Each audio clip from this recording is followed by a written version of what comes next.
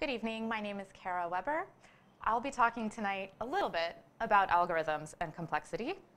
Um, I was interested in algorithms and wanted to talk to them some, to some aspect of them in my tech talk. Uh, this topic proved to be a bit intractable, but I'm hoping to provide an introduction into some of the ways that um, computer scientists and theorists think about complexity in algorithms. So my, um, my screen is showing you a fractal pattern. Um, fractals are geometrical patterns that can be broken down into smaller units and each smaller unit is a like half size or reduced size copy of the pattern as a whole.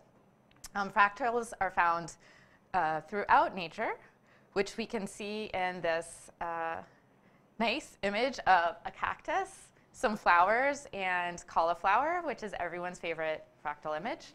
Um, but fractals, uh, fractal patterns can also be generated by algorithms uh, recursive algorithms, and that's an, this is an example of that that you see on the screen now. Um, so briefly, to give an introduction to an algorithm, it's defined simply as a precise rule or set of rules specifying how to solve a problem. Algorithms are complete, they are finite, they may be exact in terms of their solution to a problem, or they may be inexact, they may be approximate. Uh, in programming, they are evaluated um, among other ways, but one important way is by their big O notation, which we are all familiar with. Um, and this, the big O um, represents the upper bound on the number of operations a function will have to produce while, when it is called. So the number of operations and how this number changes as the size of input grows gives us um, some information about how long the process is going to take to complete. Another graph, which will be familiar, um, this is a plotting of inputs n on this axis, little n, versus um, the number of operations to, to complete the function, um, big N, on the y-axis. Constant uh, operations that remain constant even as the size of input uh, grows will give us a big N of a constant, some constant, call it 1. This is an ideal scenario, but not always possible. Um, a big O of n is when the number of operations grows constantly at a constant rate um, as the input size grows. And these are less, these are the sort of big O you'd see for less complex algorithms. As they get more complex, uh, you start to move to this area of the graph. And I'll just draw your attention to these three clustered here where you have n squared, O of n squared. This is called polynomial time, um, which is um, the, the largest factor in that time is going to be n to some power. Could be n squared, could be n cubed. Um, then in the orange next to it, you have 2 to the n. This is exponential time. And then finally, factorial time. Um, and so one of the significant divisions in terms of how computer scientists think about complexity occurs in the change from polynomial time to exponential time. So more on that in a minute. But just um, to return to our fractals, I wanted to start with fractals because they're pretty, they're interesting to look at. Um, they use recursive functions, which we're familiar with. Um, but also, they represent a case that might be kind of surprising, I think, for complexity, um, which is that the patterns can look complex, but the process to construct them might not necessarily be so. So this is via Khan Academy, um, a common fractal pattern called the Sierpinski gasket. Here you see the finished product, and then they also helpfully provide a step-by-step -step of how to construct this pattern. You start with a square, you divide it into four squares, you put an x in all of this, the new subdivided squares except for the one on the bottom left. Um, and then for the squares that have x's in them, you repeat the process again uh, removing any marks from that bottom left square. It should remain empty. You repeat this process again. Notice each time the size of the square um, is diminishing, and we have more lines and a more complicated picture. Finally, we'll reach a point where we decide our dimensions are small enough, um, we don't want to subdivide anymore, and at this point, if you fill in all the squares with x's in them, you get the Sierpinski gasket. So although this pattern looks complex, you have a finite and constant number of steps for each, each iteration of the function. So um, if I were to posit what the O of n of that particular um, fractal function would look like, I would guess that it would be um, constant n, because as if we take the number of iterations as the input, as that increases in size, um, the number of operations is just going to increase at a constant rate. So that puts it in the like not so complicated region of our graph. Um, which brings me to the more complicated region of the graph. Um, there, these terms, P versus NP, are ways that um, theoreticians think about complexity. P means polynomial time. That means um, a time to execute which has an upper limit marked by n to some power. NP time is anything to the left of this, anything that grows at a rate faster than that described by n to some power. Um, a more, a more um, theoretical definition of them is problems in the set P can be solved on a deterministic Turing machine. I'll explain what that is in a second.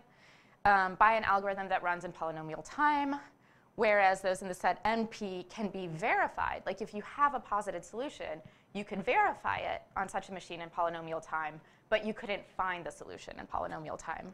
Um, a Turing machine is named for the British mathematician um, whose first name is escaping me, Alan Turing, I think, um, who was a code breaker during World War II, actually developed the model, the conceptual model that a lot of people still use for a computer before the first computer even existed. Um, he was working on breaking uh, German ciphers during World War II. Um, side note, there's a 2014 movie called The Imitation Game with Benedict Cumberbatch, and it's pretty good. And it's about uh, Turing's code-breaking work during the war. It has a pretty sad ending, which reflects his um, prosecution at the hands of a moralizing state. Um, so just be warned if you watch it, but I would recommend it. Um, so NP problems can be verified but not solved in polynomial time. They can, however, be solved in polynomial time on a non-deterministic Turing machine, which is just a concept of some kind of computer that would be able to be in different states, so performing different operations at the same time, uh, which I don't think exists in real life. It may be quantum computing, but um, that's a question for someone besides me. Um, then we have, within the class of NP problems, two further complexity labels, NP hard and NP complete, um, as far as I can tell, the definition of NP hard means it's just as hard as any hard problem in the set NP. And NP complete shares that criterion, but also, and this is kind of interesting, there, an NP complete problem is kind of a representative problem for the set of all NP problems. The idea is if you could solve an NP complete problem, your algorithm could solve with a little bit of tweaking every other NP problem. And uh, the reason this is interesting is that a lot of internet encryption relies on NP problems remaining unsolvable in any reasonable amount of time. And so if somebody were to come up with a solution to an NP-complete problem, um, internet security would be in big trouble um, because you'd be able, whoever had that solution would be able to, with work surely, but not you know crazy exponential amounts of work, um, break every other or solve every other NP problem, and therefore break a lot of um, encryption. But what if you still need a solution to an NP hard problem? So one approach is to develop an approximation algorithm. This is going to be the case of like good enough, gives us a working solution, may not be the best, may not be ideally optimized, but will at least get us a working solution for our problem.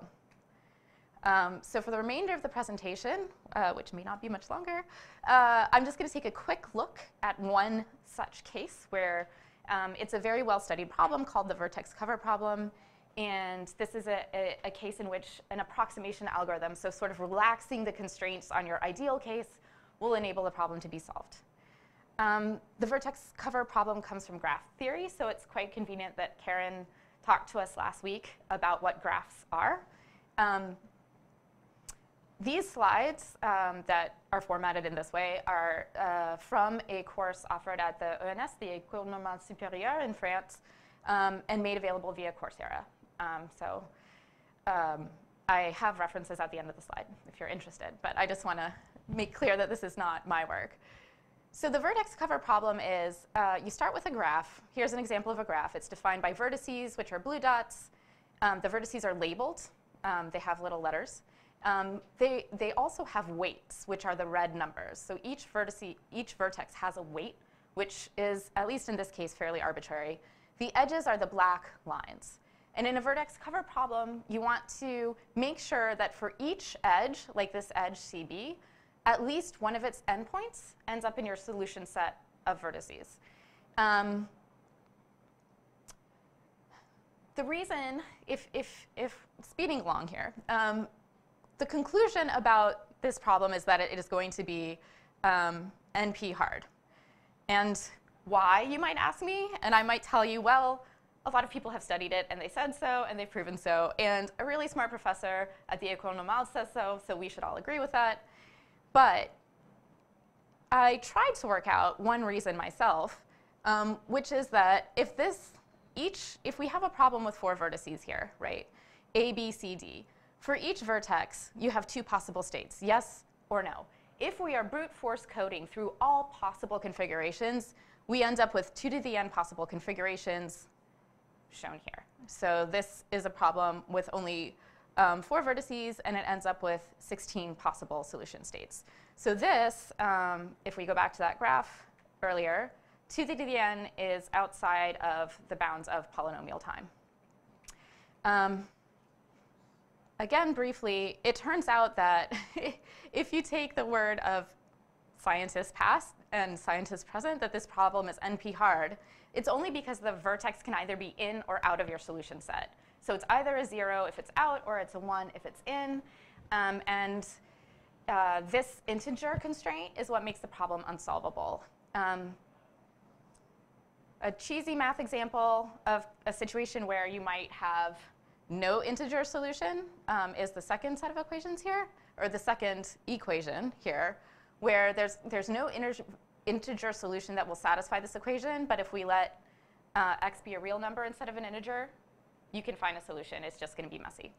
Um, so long story short, that's what happens with a vertex cover problem. If you relax your condition and allow uh, your solution to be a non-integer. You allow the vertex to be kind of like partly in, partly out for the sake of solving the problem. Um, you can, in fact, find a solution. It may not be like ideally optimized, but the magic moment, and I'll just tell you this about the end, is that you round. This is what you do when you have your decimal points between 0 and 1 for each vertex, is you round up to 1 for that particular vertex if, it's, if, if it ended up with a value that was greater than or equal to 0.5 and zero otherwise. And uh, the limit on this is that it would be at most two times the cost um, of the sum you're trying to minimize, the sum for all the vertices that are included. But apparently, in like day-to-day -day working scenarios, it's usually within about 10% of an optimal solution, which doesn't seem that bad. So, so much for a very quick look at complexity and algorithms.